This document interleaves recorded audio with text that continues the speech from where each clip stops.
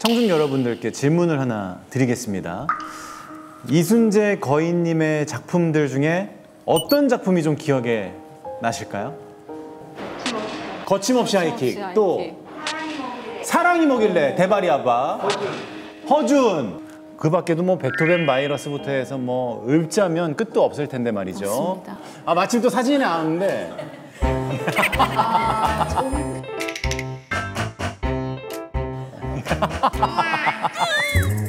자, 대한민국의 신드롬을 일으켰던 시트콤의 그 야동 순재 캐릭터가 세 번째 인생 네컷입니다.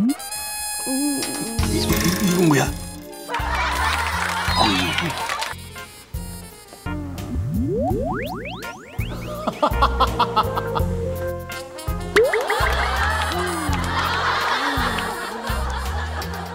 무슨 소리야 이게?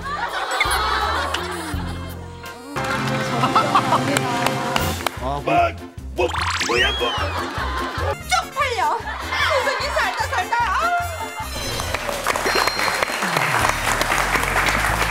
이거는 정말 히트한 작품입니다. 대박이었죠.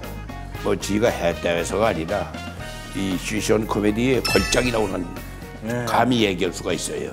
예. 네, 거인을 젊은 세대에 각인을 제대로 시켜준 작품이지만 이 야동이라는 씬을 봤을 때 어떠셨을지도 궁금하거든요.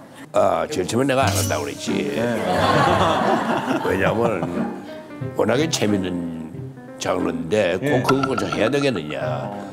내가 그래도 고등학교, 대학교 동창들이 있는데 저 체면이 이게 저건 뭐 배우들이 별짓 다 하네 이 소리 들을 것 같아서 근데 뭐 감독이 강력하게 욕을 하니까 또그 재밌어요 본인은 당혹스럽지만 객관적으로 보는 사람은 무지하게 재밌는 최고죠. 상황이라고 예. 그래서 어, 해. 어제 욕먹은 역시 그리고 했더니 나중에 아무 소리 없더라고요 그래서 아 우리가 이제 생활 문화가 이만큼 좀 인식이 많이 달라졌구나 하는 걸 네. 그 작품 통해서 느꼈어요 네. 그 장면을 해주셔서 너무 감사드리고요. 집사람은 가끔 나도 야동순 좀 불러. 애칭처럼. 예. 네, 영화나 드라마가 이렇게 빵 뜨게 되면 그 캐릭터들이 엄청난 사랑을 받잖아요. 그쵸. 이제 거인님께서는 대발의 아버지 그리고 허준의 유이태, 야동 순재 뭐 비슷한 역할이 없는 것 같은데 이렇듯 계속해서 변신을 하시는 이유가 있으신가요? 아니 그게 쾌감이에요. 그게 그게 그러니까 어, 하다 보면 뭐 비슷한 역할을 반복할 수가 있어요. 근데 재미없어요. 그래서 배우를 보고 옛날 말로 천의 얼굴을 가진 사나이다. 천의 얼굴은 아니더라도 최소한 너도 스무 개 이상의 얼굴은 가져야 된다니까.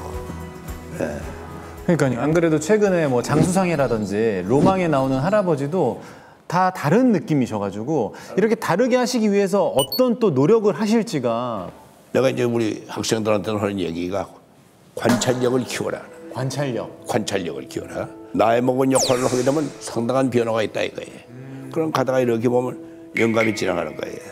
그럼 여러 가지 형태의 영감이 지나가거든. 예를 들어서 나도 영감이지만 좀 돈좀 있고 잘 먹으려고 딱 이러고 지나갔어요. 근데 그렇지 않고 병도 들고 돈도 없고 집에서 구박이나 받으면 이런 모습이 나온단 말이에요. 그러니까 그런 관찰력을 키워서 나중에 그걸 흉내내는 게 아니라 응용을 하는 거예요.